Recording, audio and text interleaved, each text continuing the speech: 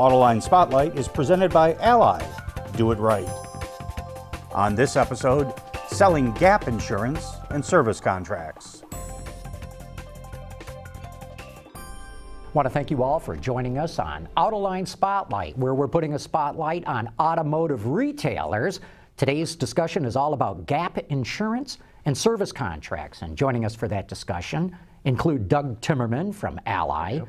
George Glassman from the Glassman Automotive Group, which includes Subaru, Genesis, Hyundai, and Kia, and Steve Finlay, a senior editor with Ward's Auto. Great to have the three of you here. Sure. Thank you. Thank you. Let's jump into it. George, I'm going to start with you. Uh, today's cars have got so much more technology on them. Is it harder to work on these things, service them? Well, they're, they're computers on wheels, and, um, and so the, the training is critical. And uh, yeah, it uh, requires an incredible amount of, of uh, training for the technicians to be up on, uh, on the technology. And so it's not like the good old days when uh, anybody could touch the cars. It has to be done by what amounts to computer scientists. And, and, Doug, do you see uh, this leading to more sales service contracts or not? Yeah, I, I, think actually the consumer is very much tuned into it. You know, you have more technology, you have more complexity, um, and as they think through that, um, you know, when you think about protection products, it makes even more sense than it did before. So I would definitely say so. How does uh, somebody like uh, uh, Kia, Hyundai, um, Honda dealership, you know, any mm -hmm. brand that has a reputation for really good quality, yep. convince a customer that they need um, an extended service contract? Because the customer's going to sure. say, why do I need that? Yeah, yeah. You, you know, I, I think um, the, the best way to, to sell protection products is, is through the educational process. So if you think about today's consumer and if there was a significant mechanical breakdown, if there was a situation of total loss or theft, and the consumer thinks about how they're going to make up those economics, you know, that'd be a big challenge for consumers. And then over the top of that, you know, there's value relative just the peace of mind of having those products.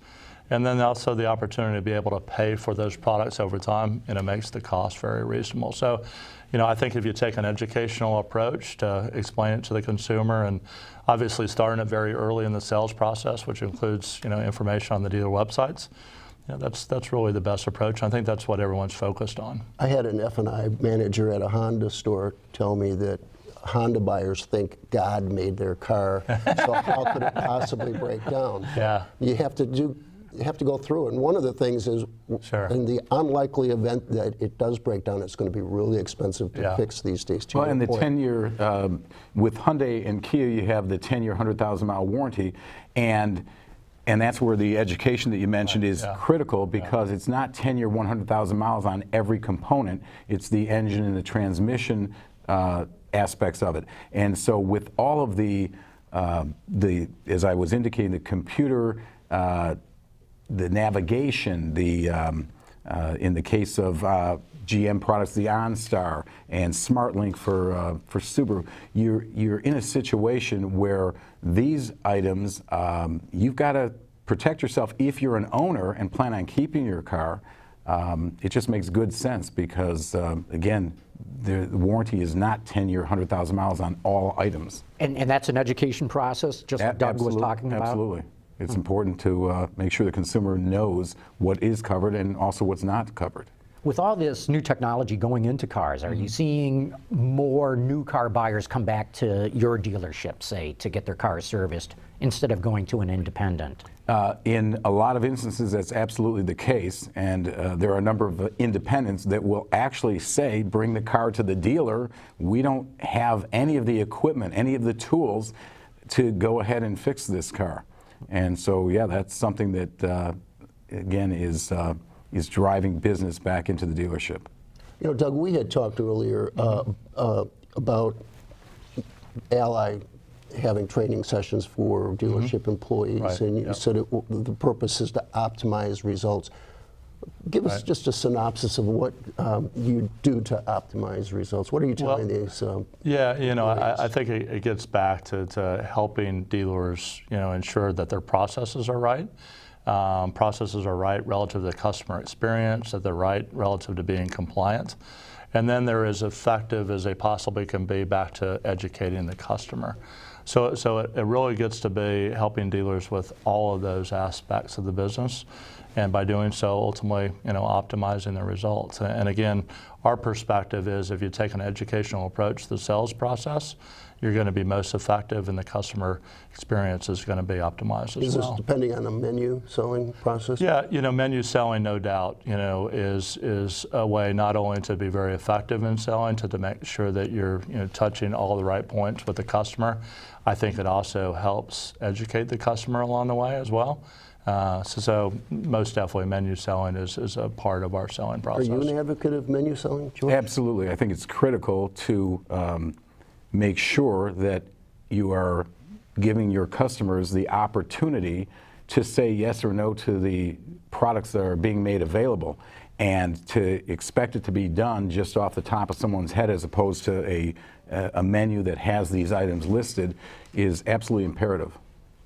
Doug, I would uh, add to that. I would just add to that is, is you know, a very important part of that process is to, you know, kind of getting to know the customer and understanding their circumstances. So as you start the selling process very early in the process, when the salesman is, you know, starting to talk to, to the customer, or even again on the website, being able to give the customer information so they're asking good questions that apply to their individual circumstances, then you can apply the presentation to their individual circumstances. And again, if the customer understands, okay, you know, what would I do if there was a significant mechanical failure? What would happen, you know, if there was a total loss or theft on my vehicle?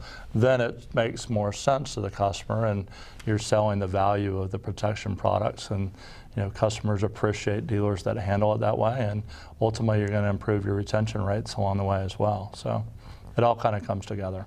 George had touched on the fact that Hyundai's got this great bumper-to-bumper warranty. Now Volkswagen's starting sure. to step yep. up it uh-huh. as it's trying to get more sales again right. too. Uh, as Ally looks out across the entire market, are, are you thinking of different sales strategies for service contracts that will help customers step up beyond what the OEM's offering? Well, I think George said it very well, right? Those don't cover all the components and all the technologies in the vehicle. So there's still risk. There's still the potential of mechanical failure in those cases. Uh, also important to note that when we develop the pricing relative to our service contracts, it takes all that into consideration. So, um, you know, I think I think it's it's again how you approach it and how you educate the customer. Mm-hmm. Tony D is a F&I uh, trainer, and yeah. he does the stapler close, and he holds a stapler, and he holds a uh, smartphone, and he, you're telling the customer, you know, the, the motor or parts of the uh, car are the stapler. You, yeah. It's not going to break down, or right. the chances of something going wrong with it in six yeah. years is something else. But this smartphone, that runs your car. You were talking about the computers in cars. He said, that, where do you think that's going to be in six right. years? So it's a very effective close using those props. Yeah, I, I, think, you know, the other point in there is if you think about today's millennials, they, they have appreciation for that cell phone. They also have appreciation for that service contract.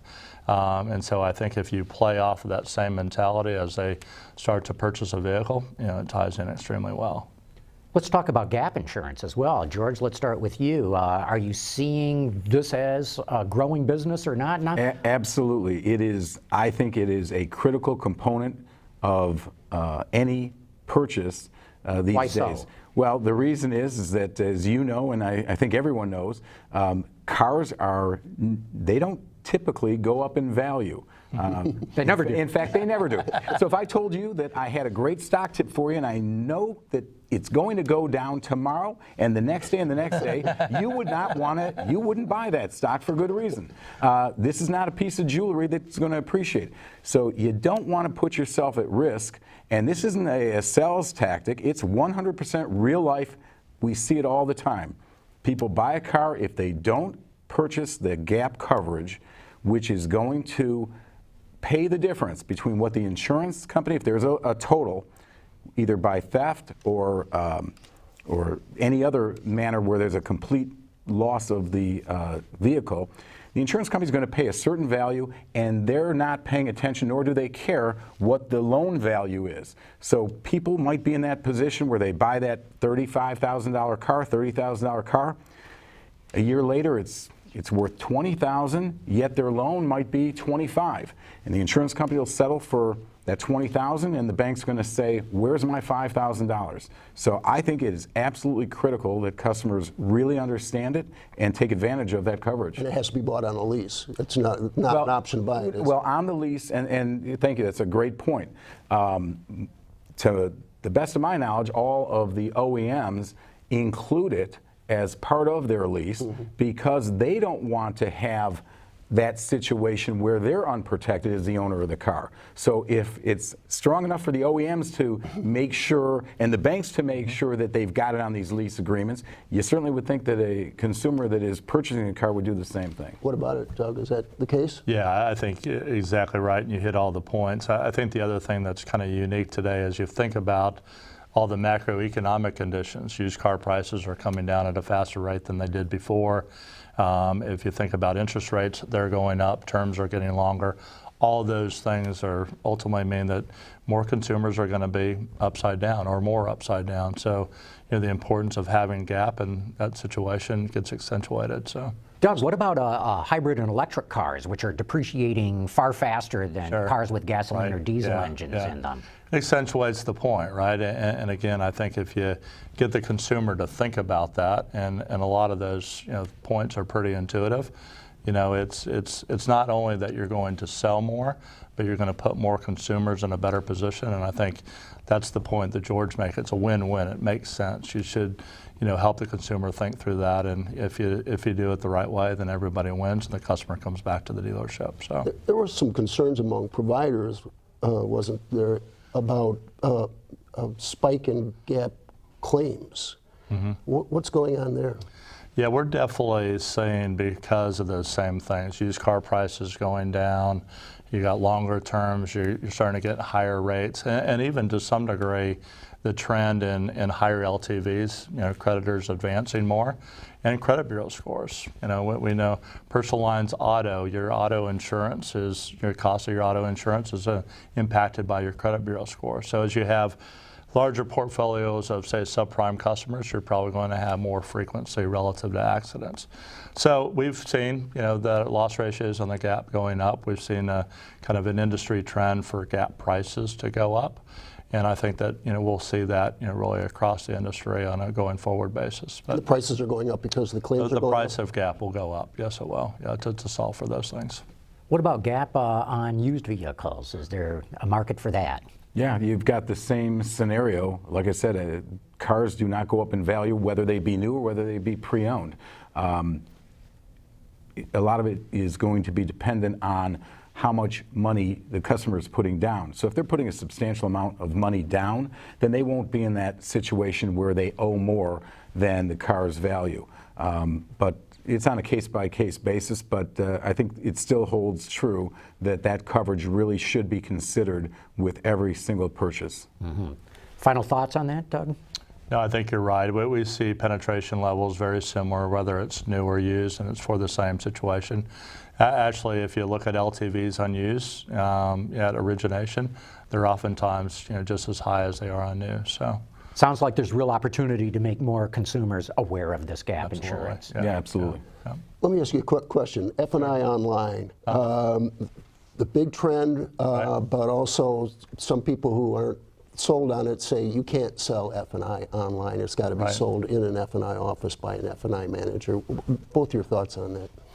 You know, I, from my perspective, I, I, think you're going to see the trend moving that way. Um, you know, can I point to those that are doing it really well? I think that's difficult to do, but I think everyone is trying to figure it out. And, and certainly, one of our focus points is is is to help dealers figure it out together.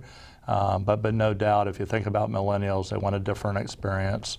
They want it faster. They're used to, you know, doing business online, and it's all of us to, to, to, to figure it out and solve for. Yeah, it, I see everything going towards that online experience also. And so it just goes back to making sure that the content and the explanation is there. Uh, at the end of the day, having an individual explain it is helpful, but um, as, as you said, I, th I think at the end of the day, millennials, uh, in many instances, would like to do their purchases or their purchase process online, and uh, they can read up on the gap insurance and the other products that are available and become familiar with them. Well, that's a great point because a lot of it is familiarization, and Right. the more familiar a customer is going into the dealership, the more likely they are to buy a product. If- Absolutely. If, you're not starting Yeah. from scratch on the benefits of the product, And they like to educate themselves before too. So that's that's how they that's how they do business, right? So yeah. Very good. With that, we're going to wrap it up. Doug Timmerman, George Glassman, Steve Finlay, thanks very much for Thank a good very much. conversation here. Thanks for having us. You bet.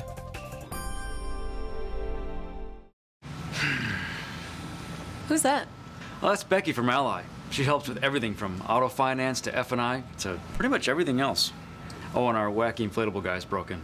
We'll do anything, seriously anything, to help your dealership. Ally, do it right.